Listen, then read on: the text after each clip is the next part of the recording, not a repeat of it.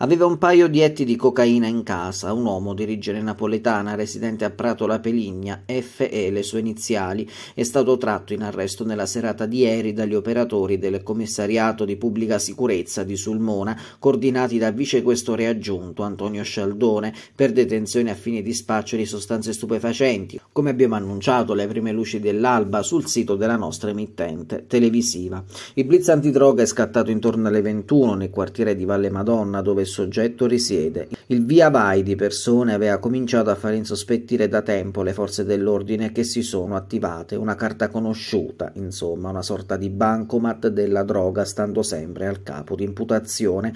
La polizia ha rinvenuto un ingente quantitativo di sostanze stupefacenti a casa dell'uomo, sembrerebbe proprio nel garage, un paio di etti di cocaina più materiale per il confezionamento della sostanza per cui per il 54enne di origini napoletane sono scattate le manette ai polsi. L'arresto in flagranza di reato è stato eseguito dai poliziotti su disposizione del magistrato di turno presso il Tribunale di Sulmona, Edoardo Mariotti. L'uomo è stato ristretto agli arresti domiciliari in attesa dell'udienza di convalida. Nelle prossime ore saranno resi noti i dettagli dell'operazione. Continua lo scacco allo spaccio sul territorio, a dimostrazione che il fenomeno è assai diffuso. Ulteriori accertamenti sono in corso per risalire la provenienza provenienza della sostanza e i potenziali acquirenti sul mercato. Martellate sull'auto dell'aggressore 68enne che la scorsa domenica a Raiano prese a bastonate un ragazzino di Sulmona di 14 anni per essere stato importunato, con tanto di virgolette, dalle bussate alla porta della sua abitazione. Questa notte l'uomo ha rinvenuto i vetri della sua auto completamente distrutti, tant'è che si è precipitato in strada per controllare quanto era accaduto. I due episodi potrebbero avere un nesso, ma non si esclude nemmeno un caso isolato, se si tratta o meno di una vendetta, di una ritorsione allo stabilimento stabiliranno le forze dell'ordine che saranno chiamate a svolgere accertamenti sul caso. Sull'episodio della scorsa domenica il 68enne era stato deferito all'autorità giudiziaria per lesioni aggravate e porto abusivo d'arma atta ad offendere. Poi il nuovo episodio, questo atto vandalico a distanza di qualche giorno che fa pensare a un possibile ed inevitabile collegamento. Tra l'altro che sembrerebbe che l'auto presa di mira fosse stata acquistata da poco.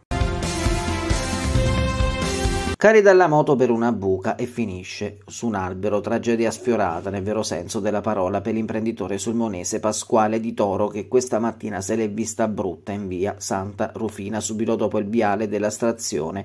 Prima una buca, poi avrebbe sfiorato anche un passante che stava facendo jogging e poi è finito contro un albero, fortunatamente di striscio. Nessuna escorazione, solo qualche dolore. Per lui non si sono rese necessarie le cure mediche. Grande però la rabbia del Centauro perché poteva andare peggio per le condizioni del manto stradale. Tutto a posto, naturalmente a Sumona è l'unica città al mondo che non si trova l'asfalto, non lo so, lo dovremmo comprare in nero da qualche parte all'estero. Niente, sono arrivato, una macchina ha rallentato e come ho frenato ho preso questa buca in pieno, la, la moto mi è sbandata letteralmente perché 20 centimetri Poi sei finito sul, sull'albero? Sul brecciolino, che il brecciolino va tolto, va fatta la manutenzione e fortunatamente non voglio, cioè eh, la mia abilità perché sono da sempre stato un centauro eccetera ho preso la pianta ma presa, ho preferito eh. prenderla di striscio perché in pieno sarebbe stata una trambata. non stavamo parlando. Voglio adesso. specificare che non chiederò i danni a nessuno, sia ben chiara questa cosa. Ma il comune si deve immediatamente muovere. Glielo compriamo noi l'asfalto, perché io ho rischiato la vita mia e la vita di un passante che stava qui adesso. Vogliamo sperare che questo episodio serva per evitare no? certo, le tragedie. Certo, certo devono iniziare a muoversi. Non può essere che fanno eh, le elezioni solo per il vantaggio di essere chiamati assessori, sindaci, eccetera. Devono risolvere il problema. Il problema di questa città che è fortemente nel degrado.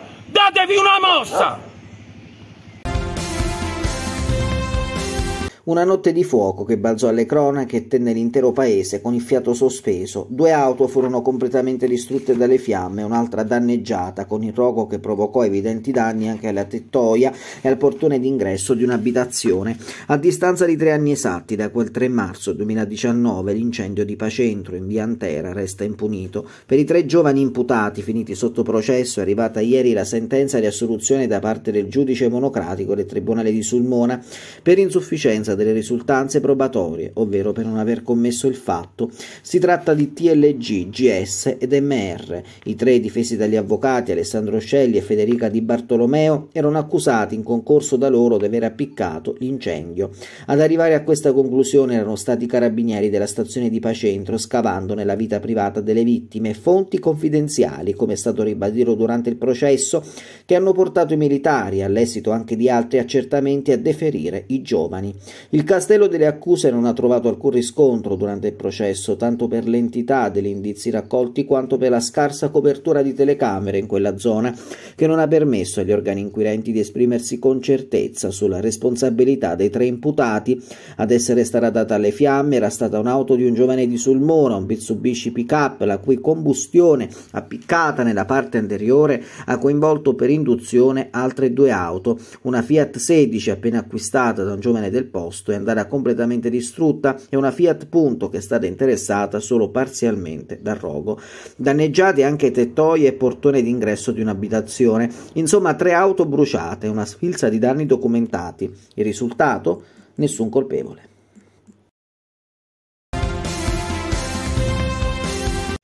È originario di Castelvecchio Subeco il bimbo di quattro anni che è morto nel pomeriggio di ieri nel tragico incidente che si è verificato in un asilo del capoluogo di regione. Un bimbo dolcissimo, come ricordano alcuni genitori, che aveva i nonni nel piccolo centro della Valle Subequana, anche il padre era di lì. Una notizia terribile, commenta il vice sindaco di Castelvecchio Subeco, Pietro Salutari, ancora sconvolto, che esprime il cordoglio ai familiari. La tragedia che ha messo in ginocchio il capoluogo di regione tocca indirettamente anche la vallata nel giro di pochi secondi il cuore di una comunità già segnata da profonde ferite torna a fermarsi in quello che doveva essere un pomeriggio come tanti nella scuola dell'infanzia Pile, primo maggio, e invece per una tragica fatalità sei bambini sono rimasti incastrati tra il motore dell'auto e la cancellata. Uno di loro, Tommaso, è morto subito dopo il tragitto verso l'ospedale. Due sono stati trasportati al Policlinico Gemelli di Roma, una di loro di quattro anni in prognosi riservata. Anche l'altra bambina di quattro anni è stabile respiro spontaneo sottoposto ad accertamenti. Un altro piccolo è bambino Gesù, mentre i restanti all'ospedale San Salvatore. La vettura finita nell'area giochi dell'asilo è di una mamma iscritta sul registro degli indagati che stava andando a prendere un bimbo nella stessa scuola dell'infanzia in cui è avvenuto l'incidente. All'interno dell'auto c'era un altro bimbo di nove anni lasciato momentaneamente solo. Tra le ipotesi è che il conducente abbia dimenticato di inserire il freno a mano o che il bimbo possa aver torto accidentalmente il freno. La vicenda ha scosso anche il mondo della politica. Il sindaco dell'Aquila, Luigi Biondi, ha proclamato il lutto cittadino.